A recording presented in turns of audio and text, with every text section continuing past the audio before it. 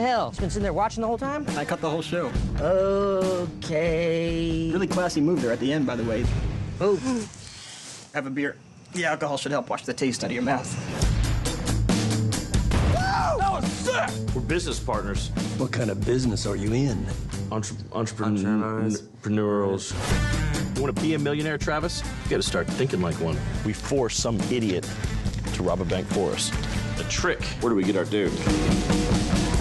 We'll deliver anywhere in 30 minutes or less.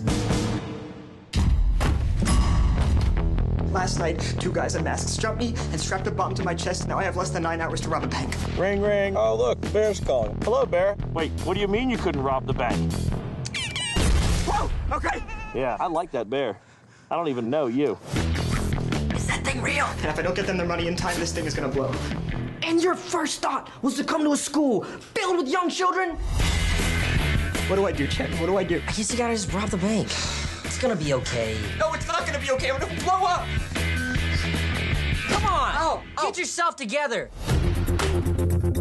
Guns, mask. You sure you all don't want to grab some condoms? No. Why? Because this is usually what men buy before they rape someone. Oh, we're not rapists. Us two, small fries. It's gonna be cash or credit for your rape kit. It's so pretty.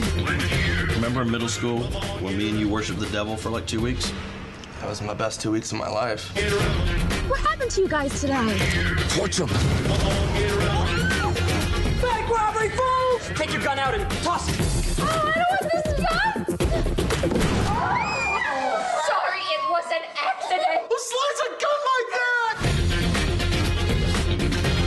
Homeboy's got the federales in hot pursuit. Let me concentrate, okay? I do this for a living. No, you don't! You get high and deliver pizzas! That's nothing like this situation!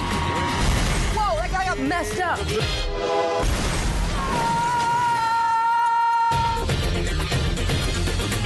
Drop your weapons! Put your hands on your head. Guess what? You just brought a gun to a bomb fight, officer. Oh.